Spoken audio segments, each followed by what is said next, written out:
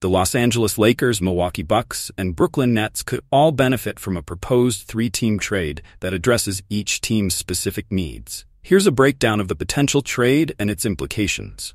Trade details. Lakers receive Bobby Portis.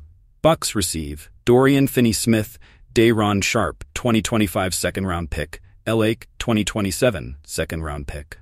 Nets receive Jarred Vanderbilt, Maxwell Lewis, Pat Connaughton, 2025 second-round pick LAL, 2031 first-round pick swap, MIL. Lakers perspective. Need for a stretch big. The Lakers add Bobby Portis, a shooting big man who can space the floor and play alongside Anthony Davis. This move allows Davis to play more at power forward, his preferred position, while Portis provides scoring and rebounding off the bench. Roster balance. Portis averaged 13.8 points and 7.4 rebounds last season, making him a valuable addition.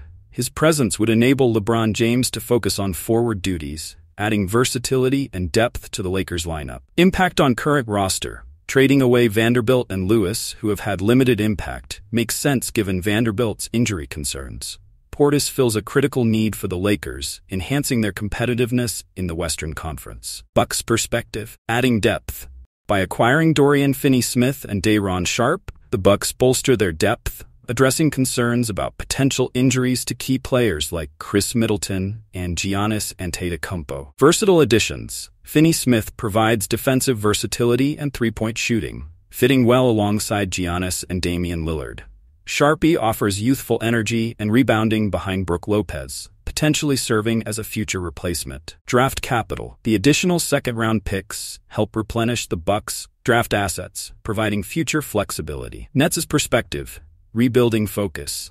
The Nets continue their rebuilding efforts by acquiring young assets like Jarred Vanderbilt and Maxwell Lewis. Vanderbilt, despite injury issues, offers potential for growth, while Lewis is a high upside prospect. Clearing veterans, moving Finney-Smith and Sharpe aligns with the Nets' strategy to focus on developing younger players. Pat Connaughton provides rotational depth without significantly impacting the team's long-term plans. Draft strategy. The pick swap and additional draft picks align with the Nets' goal to rebuild through the draft, aiming for a high pick in the competitive 2025 NBA draft. Conclusion. This trade presents a balanced opportunity for all three teams to address their current needs and future plans. The Lakers gain a much-needed stretch big, the Bucks add depth and versatility, and the Nets focus on rebuilding with young talent and draft capital. While each team faces potential risks, the trade is well balanced, offering a path to success for all involved.